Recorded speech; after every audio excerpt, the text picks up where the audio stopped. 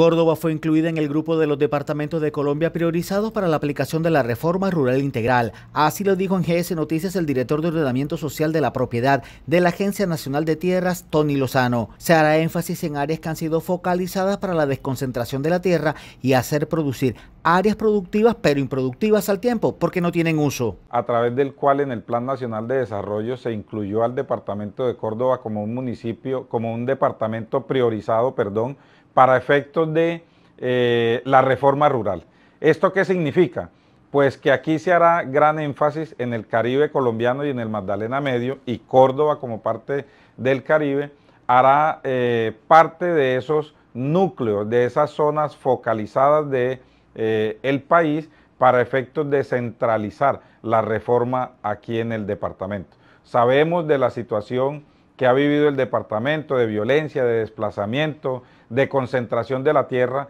y pues la política pública dirigida por el señor presidente de la República, por la ministra de Agricultura y por el director de la agencia, lo que busca precisamente es la desconcentración de la tierra, la socialización de esa productividad, como lo ha dicho el señor presidente, de alimentos a través de la entrega de tierras y subsidios y créditos para campesinos y campesinas que puedan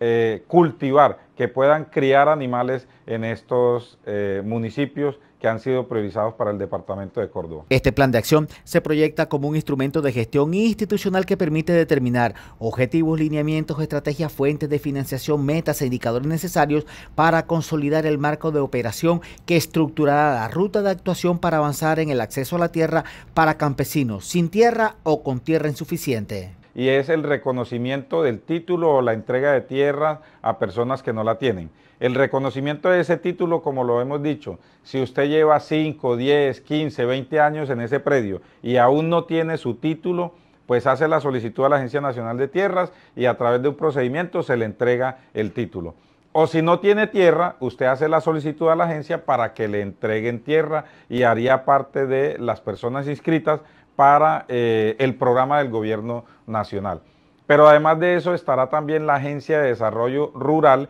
que es la encargada de los proyectos productivos. El objetivo es regionalizar la reforma rural y no imponerla desde los escritorios de ciudades capitales, indicó.